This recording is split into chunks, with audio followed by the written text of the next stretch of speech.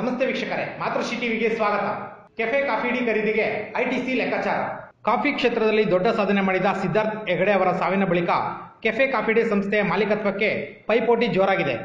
Cafe coffee day company ಸದ್ಯ ತೀವ್ರ ನಷ್ಟ ಅನುಭವಿಸುತ್ತಿದ್ದು, ಸಾಲದ ಶೂಲದಲ್ಲಿ ತತ್ತರಿಸಿದೆ. ಹಲವಾರು ಸಂಸ್ಥೆಗಳು ಕಾಫಿ ಡೇ ಖರೀದಿಗೆ ಲೆಕ್ಕಾಚಾರ ಹಾಕಿವೆ. ಈ ನಡುವೆ ಏಷ್ಯಾದ ಬೃಹತ್ ಸಿಗರೇಟ್ ತಯಾರಿಕಾ ಸಂಸ್ಥೆ ಐಟಿಸಿ ಕೆಫೆ ಕಾಫಿ ಡೇ ಖರೀದಿಗೆ ಉತ್ಸುಕವಾಗಿದೆಯಂತೆ. ಈ ನಿಟ್ಟಿನಲ್ಲಿ ಈಗಾಗಲೇ ಪ್ರಾರಂಭಿಕ ಹಂತದ ಮಾತುಕತೆ ನಡೆದಿದ್ದು, ಎಷ್ಟು ಷೇರುಗಳ ಪಾಲುದಾರಿಕೆ ಪಡೆಯಬೇಕೆಂಬ ಬಗ್ಗೆ ಲೆಕ್ಕಾಚಾರ ಸಾಗಿದೆ.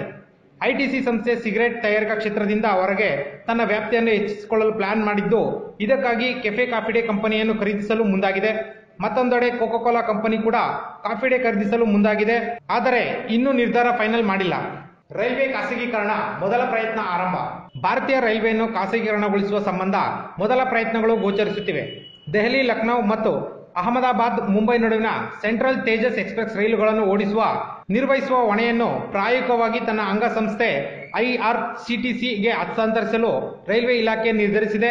ಈ ರೈಲುಗಳ ಪ್ರಯಾಣ ದರಗಳನ್ನು ನಿಗದಿಪಡಿಸುವ ಹೊಣೆಯನ್ನು ಈ ಸಂಸ್ಥೆಗೆ ರೈಲ್ವೆ ಮಂಡಳಿ ಬಿಟ್ಟುಕೊಟ್ಟಿದೆ. ರೈಲ್ವೆ ಖಾಸಗೀಕರಣಗೊಳಿಸುವ ನಿಟ್ಟಿನಲ್ಲಿ ಇದು ಪ್ರಾಯೋಗ ಹಂತ ಎಂದು ಅಧಿಕಾರಿಗಳು ತಿಳಿಸಿದ್ದಾರೆ.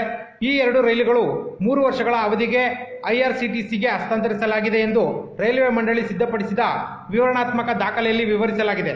ಅಂತಾರಾಷ್ಟ್ರೀಯ ಮಾನದಂಡಗಳಿಗೆ ಅನುಗುಣವಾಗಿ ಪ್ರಯಾಣಿಕರಿಗೆ ಉತ್ತಮ ಸೇವೆಯನ್ನು ಒದಗಿಸುವ ಉದ್ದೇಶದಿಂದ ಈ ಕ್ರಮ ಕೈಗೊಳ್ಳಲಾಗಿದೆ ಎಂದು ಅಧಿಕಾರಿಗಳು ತಿಳಿಸಿದ್ದಾರೆ.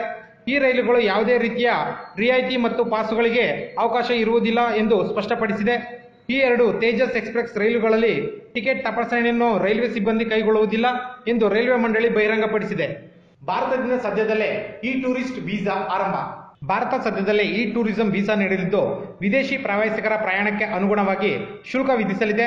ಮೂವತ್ತು ದಿನಗಳಿಂದ ಐದು ವರ್ಷಗಳವರೆಗೆ ನೀಡುವ ಈ ವೀಸಾ ಶುಲ್ಕ ಎರಡು ರೀತಿಯಲ್ಲಿ ವಿಂಗಡಿಸಲಾಗಿದೆ.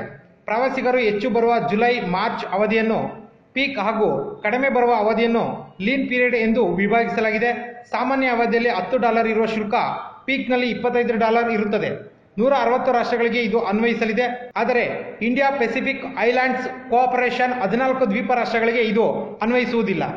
ಡ್ಯಾನ್ಸ್ ಕಿಂಗ್ ಪ್ರಭುದೇವ್ ಮತ್ತೆ ಸ್ಯಾಂಡಲ್ವುಡ್ಗೆ ಎಂಟ್ರಿ. ಉಪೇಂದ್ರ ಹಾಗೂ Priyanka ಜೋಡಿಯ H two O Manasella Neene ಹಾಗೂ ಒನ್ ಟು ತ್ರೀ ಚಿತ್ರಗಳಲ್ಲಿ ಕಾಣಿಸಿಕೊಂಡಿದ್ದ ಡ್ಯಾನ್ಸ್ ಕಿಂಗ್ ಪ್ರಭುದೇವ್ ಕನ್ನಡದ ಯಾವ ಸಿನಿಮಾದಲ್ಲೂ ಕಾಣಿಸಿಕೊಂಡಿರಲಿಲ್ಲ.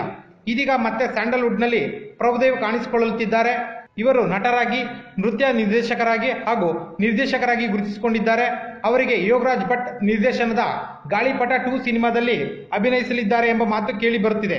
ಗಾಳಿಪಟ ಟು ಯೋಗರಾಜ್ ಭಟ್ ನಿರ್ದೇಶನದ ಮುಂದಿನ ಸಿನಿಮಾ ಈಗಾಗಲೇ ಈ ಚಿತ್ರವು ಸಾಕಷ್ಟು ಸುದ್ದು ಮಾಡುತ್ತಿದೆ. ಈ ಚಿತ್ರದಲ್ಲಿ ಗಣೇಶ್ ಮತ್ತು ದಿಗಂತ್ ಜೊತೆಗೆ ನಟ ಹಾಗೂ ಡ್ಯಾನ್ಸರ್ ಪ್ರಭುದೇವ್ ಕೂಡ ಅಭಿನಯಿಸಲಿದ್ದಾರೆ ಎಂಬ ಸುದ್ದಿ ಭಾರಿ ಸದ್ದು ಮಾಡುತ್ತಿದೆ. ಪ್ರಭುದೇವ್ ಅವರ ಜೊತೆ ಮುಂಬೈನಲ್ಲಿ ನಿರ್ಮಾಪಕ ಮಹೇಶ್ ದಾನಣ್ಣನವರ್ ಹಾಗೂ ನಿರ್ದೇಶಕ ಯುವರಾಜ್ ಭಟ್ ಚರ್ಚೆ ನಡೆಸಿದ್ದಾರೆ ಎಂದು ತಿಳಿದು ಬಂದಿದೆ. ಅಂದಾಗೆ ಪ್ರಭುದೇವ್ ಸದ್ಯಕ್ಕೆ ಸಲ್ಮಾನ್ ಖಾನ್ ನಟನೆಯ ದಬಾಂಗ್ ತ್ರೀ ಸಿನಿಮಾ ನಿರ್ದೇಶಿಸುತ್ತಿದ್ದಾರೆ. ಭಾರತೀಯ ಪುರುಷರ ಹಾಕಿ ತಂಡಕ್ಕೆ ಪ್ರಶಸ್ತಿಯ ಗರಿ. ಎಲ್ಲ ವಿಭಾಗಗಳಲ್ಲಿಯೂ ಅದ್ಭುತ ಪ್ರದರ್ಶನ ತೋರಿದ ಭಾರತ ಪುರುಷರ ಹಾಕಿ ತಂಡ ಇಲ್ಲಿ ನಡೆದ ಒಲಿಂಪಿಕ್ಸ್ ಟೆಸ್ಟ್ ಫೈನಲ್ ಪಂದ್ಯದಲ್ಲಿ ನ್ಯೂಜಿಲೆಂಡ್ ವಿರುದ್ಧ ಗೆದ್ದು ಪ್ರಶಸ್ತಿ ಮುಡಿಗೇರಿಸಿಕೊಂಡಿತು. ಆ ಮೂಲಕ ರೌಂಡ್ ರಾಬಿನ್ ಲೀಗ್ ಹಂತದಲ್ಲಿ ಸೋಲು ಅನುಭವಿಸಿದ್ದ ಹರ್ಮನ್ ಪ್ರೀತ್ ಸಿಂಗ್ ಪಡೆ ಕಿವೀಸ್ ವಿರುದ್ಧ ಸೇಡು ತೀರಿಸಿಕೊಳ್ಳುವಲ್ಲಿ ಯಶಸ್ವಿಯಾಯಿತು. ಅಮೋಘ ಐದು ಗೋಲುಗಳ ನೆರವಿನಿಂದ ಭಾರತ ಐದು ಎರಡು ಅಂತರದಲ್ಲಿ ನ್ಯೂಜಿಲೆಂಡ್ ವಿರುದ್ಧ ಭರ್ಜರಿ ಜಯ ಸಾಧಿಸಿ ಚಾಂಪಿಯನ್ ಆಯಿತು. ಎಕ್ಸ್ಕ್ಲೂಸಿವ್ ಅಪ್ಡೇಟ್ಸ್ಗಾಗಿ ಮಾತೃಶ್ರೀ ಟಿವಿಯನ್ನು ಸಬ್ಸ್ಕ್ರೈಬ್ ಮಾಡಿ.